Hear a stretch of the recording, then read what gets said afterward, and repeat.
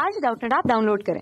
Doubtnut पर अपने सभी गणित, रसायन विज्ञान, भौतिक विज्ञान और जीव विज्ञान के डाउट्स का करो सफाया। बस प्रश्न की फ़ोटो खींचो, एक ही प्रश्न को क्रॉप करो और तुरंत वीडियो सोल्यूशन पाओ। अभी डाउनलोड करें।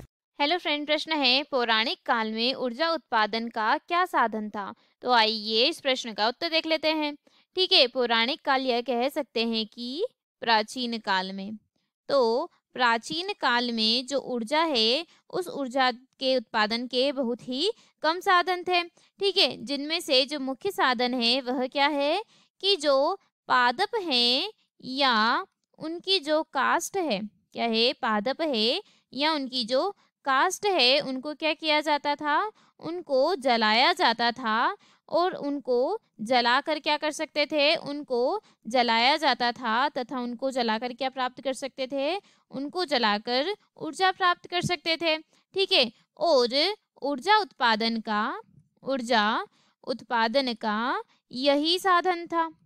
ठीक है पौराणिक काल में ऊर्जा उत्पादन का यही साधन था। जहाँ बात की जाए अभी की तो क्या है? शोर, पवन बायोमास आदि क्या कर सकते हैं? आदि ही हमारे ऊर्जा के स्रोत है।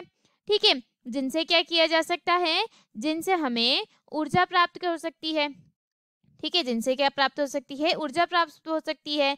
जैसे कि मैंने आपको बताया सौर पवन और बायोमास ठीक है, आदि से। और ऊर्जा जो रहती है, उसको कहाँ कहाँ यूज़ में ला सकते हैं? जो ऊर्जा रहती है, उसको यूज़ में ला सकता है, जैसे कि पानी गर्म करने में, भोजन पकाने में, पंपिंग में, सूक्ष्म उद्योगों में, ठीक है, इन सभी में जो ऊर्जा उत्पादन है, उसके कई प्रयोग होते हैं। ठीक है? तो यह जो कि अभी यूज़ में आते हैं, ठीक है? पहले सिर्फ़ यूज़ में आता था वह कि पादप या उनकी कास्ट को जलाया जाता था, जिनसे ऊर्जा का उत्पादन होता था और यही ऊर्जा का साधन था। ठीक है, हमारा उत्तर यही समाप्त होता है। आशा है कि आपको इस प्रश्न का उत्तर समझ आया हो।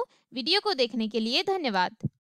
कक्षा छठी से बारहवीं से लेकर NEET I I T JEE वो एडवांस के लेवल तक। एक करोड़ से ज़्यादा छात्रों का भरोसा। आज ही डाउनलोड करें डाउट नेट ऐप या व्हाट्सएप करें अपने सारे डाउट्स आठ चार सौ चार सौ चार सौ पर।